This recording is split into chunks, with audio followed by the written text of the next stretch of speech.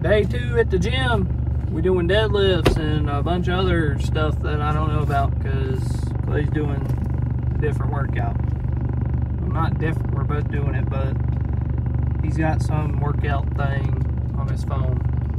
We're gonna do it, I guess. I think he still wants to. Thanks. We can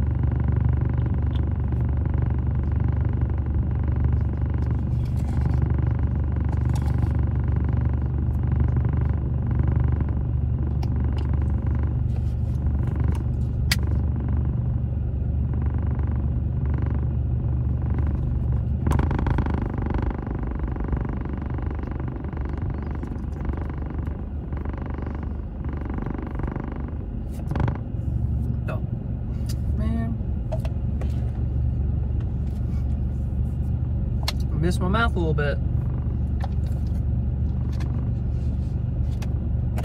I will.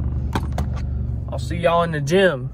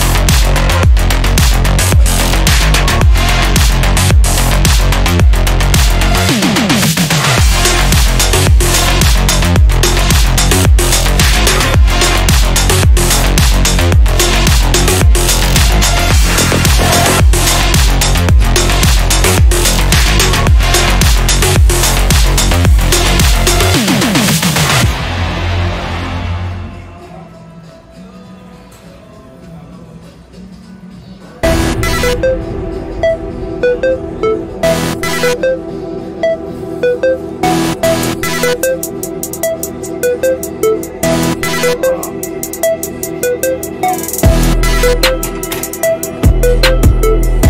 right back.